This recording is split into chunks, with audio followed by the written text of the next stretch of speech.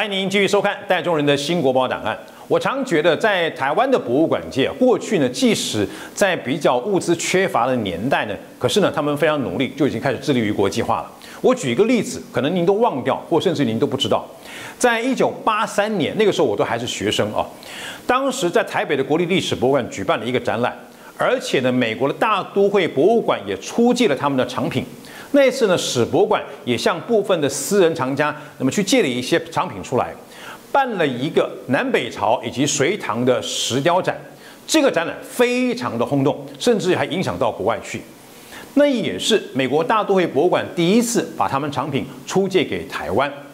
在那次展览当中呢，有一个私人的收藏震惊的各界，这个人的名字呢叫做陈哲进，他是旅美的华侨。部分的台湾朋友呢，那么昵称他是屌啊。看了那次展览，大家才知道雕瓦的佛像的石雕啊，那么它的收藏品位以及它的收藏质量是如此的丰富，如此的高。我在这一次在宇珍的拍品当中，就看到了当年在这次博物馆当中所出现的这个展览品。我们镜头当然会带您去看一看，不过呢，我们先从大家比较熟悉，同时很多人所喜欢的观音菩萨开始看起。张总，观音像在台湾都一直很受欢迎，对不对？对。为什么原因啊？嗯，因为台湾信奉观音嘛，嗯哼，很的人很多，尤其是女性。哦哈。嘿，那因为她的整个体态啊，哈，面相啊都非常的好。嗯哼。啊，所以摆在家里面的话，他们会觉得很很慈祥的那个。但这两件我们所看到的观音像材质是完全不一样，这个是铜。对。但听说两个都有款。对。这个款式，这个是玉堂石首。玉堂石首，对。玉堂石首其实是个非常有名的这个呃名家啊，石首石首嘛哈。但是款这么多，我们怎么分辨它到底是对还是不对呢？哎，第一个我们是看它的这个哈面相，再就是看它的这个掐的银丝，然后再就是看它后面的款，它这个款非常的漂亮。嗯哼，哦，看这边有玉堂石首的这个篆书款啊，这四个字。这这，我们上来看到这边都有砍银丝在，这个高度有多高？四十二公分。过去的拍卖场里面，大概只要出现呃观音像，都会引起这个拍呃买家的这个关注啊。那么其中这个石手是一个呃名家啊，我们可以看到了他的手哈，那么其实是婉转非常的呃有有它的这个韵味的这个存在。但相对的这个白色的，就是我们一般所说的这个德化。对，何朝宗。何朝宗款，我又是另外一个名家啊。同样的，那对于何朝宗款，很多人也会说，那到我我怎么看？虽然有个款是何朝宗，但从哪些表现，它会是对的东西？呃，头发是一个很重要的。OK，哦，比如说他的头发是有冠的那个，可能就会比较清清代的东西。嗯哼，但是你有看看到他明代的时候，他的头发会比较喜欢这样子的一个表现方式。嗯，然后再就是说他的脸相，嗯哼，哦，他的脸相就比较饱满一点点。嗯，哦，然后再当然就是从他的衣褶啊，还有他的德化的颜色，OK，哦，就可以看得出。这点比较带一点米白的那种感觉，而不是纯白的。对对对，因为你如果说比较。啊，轻的时候，它它的那个德化的这个颜色会比较白一点。嗯哼，那它这个就是比较米色。OK，对，它就可以从各方面去看。然后呢，你可以看到它这边，它除了一个哦方的一个印以外，它还有一个葫芦的一个哦，它的款，对对对对，OK，它的款有两。哦，这我们看到它那个章哈，上面是一个葫芦，对不对？下面是一个方章款。呃，刚才张总特别提醒说，它的这个法式的这个部分。呃，其实你看到他这个呃法式下来，它的卷卷这个辫子，这其实也是一门功夫哈，因为他把它做的十分的这个流畅，呃，这个他一定的这个时代风格，这种这种法式的模样让我想到另外一件，呃，体态差不多，但是法式几乎是接近的，就在这个北京故宫，OK，那同样都是明代的啊，所以这个它的时代特征是十分的这个明显哈。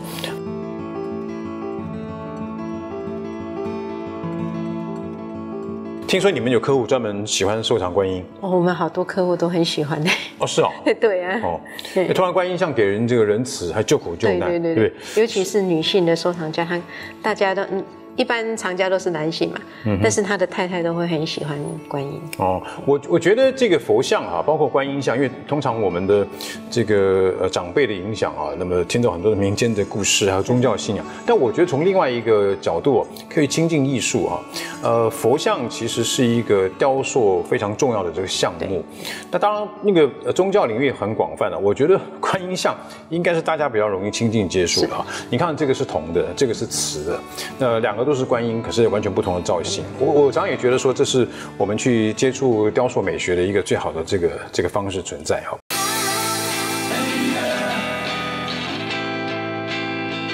这件雪山大士铜铸鎏金，胎体厚重，相貌奇古，方面长耳，双眼凝定俯望下方，略带笑意，含蓄自然。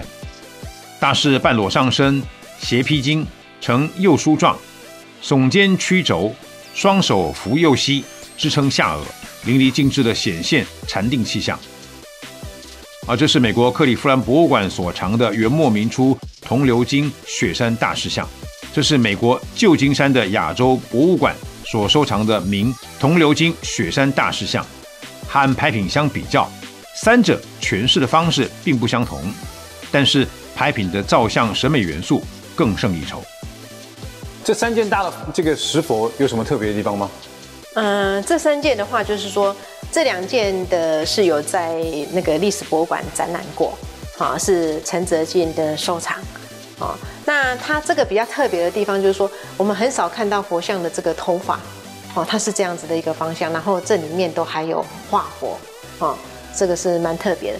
那这个比较特别的话，就是在于它的这个法式，在北齐能够看到这样子的法式的作品也非常的少，然后呢，这一件的话是在佛像里面的那个，哈，它的造像应该是非常大的。好，那这一件的佛像它是有六十六公分，当时这个在庆丰银行的时候拍卖的作品啊，是蔡家的收藏。那这次刚好就是他们也要有一个装修，所以就这个佛像就刚好有一个系列这样子出来这样子。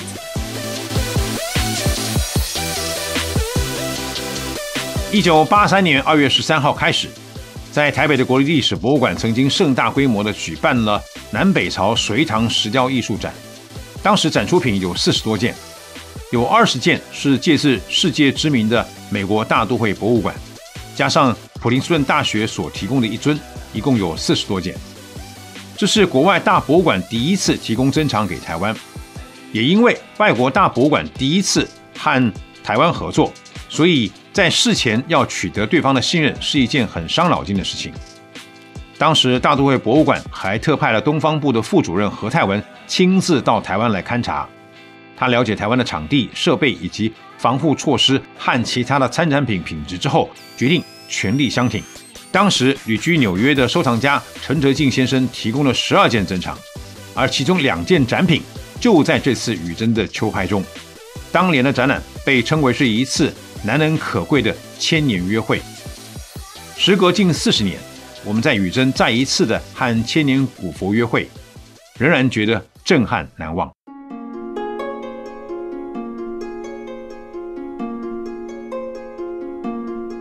拍品共八幅，以十六罗汉为主题，在卷本上勾描构图，以白粉、精彩等做细部的点缀装饰，使得画面充盈华丽感。每一幅均画一对身形高大的应真像，成衣繁装一汉装的搭配。繁装者或袒右肩或通肩，皆袒露前胸，并且以晕染法表现出肌肤的起伏；汉装者则层层加裹，交领右衽外搭水田衣，袍服上描绘了圆点、连珠、法轮、卷草、莲花或腾龙等各式图案，精致细密，肤色典雅。又具有流动变化美感。山西博物院所收藏的明朝天顺拔罗堕尊者，我们可以看到局部照施色彩，其中以白粉描绘圆点的技法和这个拍品极为相似。这是京城的白描佛说维摩诘经，卷以墨笔白描技法绘就。金城是中国近现代的画家，笔墨严谨，以工代写。能书法兼工篆隶镌刻，这个作品是金城四十三岁时以游丝描以及铁线描绘就。他取材于北京故宫博物院所收藏的北宋李公麟维摩演教图卷。他以静态的手法画出了动态的视觉效果。画卷以笔墨白描技法来成就，取材佛教《佛说维摩诘经》，呈现佛世界的庄严相、清净像场景。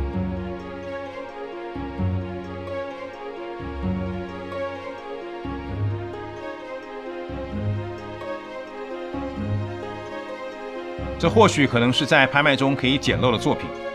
创作者是大名鼎鼎的徐悲鸿，收藏者是徐悲鸿的学生刘易斯。